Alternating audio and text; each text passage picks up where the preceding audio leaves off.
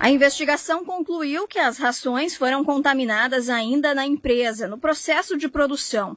Só na cidade de Viamão, ao menos 30 animais morreram depois de consumir o produto.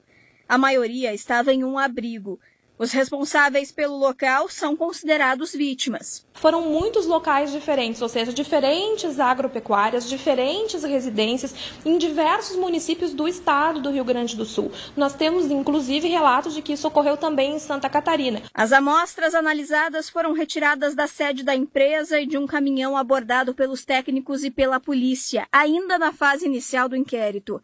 Os laudos técnicos são assinados pelo Ministério da Agricultura e por laboratórios privados.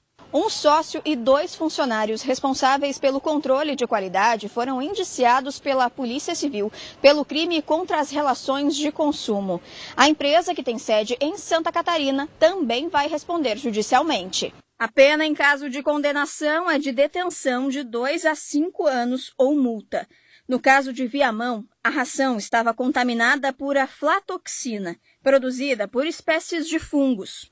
E se constatou que efetivamente a ração estava uh, contaminada por essa micotoxina aí e por outras, que não existe efetivamente hoje uma legislação no país que determine uh, a quantidade mínima que, que deve haver nas rações. Acho que esse é um debate que a gente precisa fazer a partir de agora, mas que os estudos técnicos e o próprio laudo do Ministério da Agricultura uh, comprova que sim, estão muito acima dos limites aceitáveis né, da, na, na condição dessas rações e o que compromete compromete de forma muito severa a saúde dos animais. As rações fabricadas pela empresa Andrealan Nutrição Animal continuam disponíveis no mercado.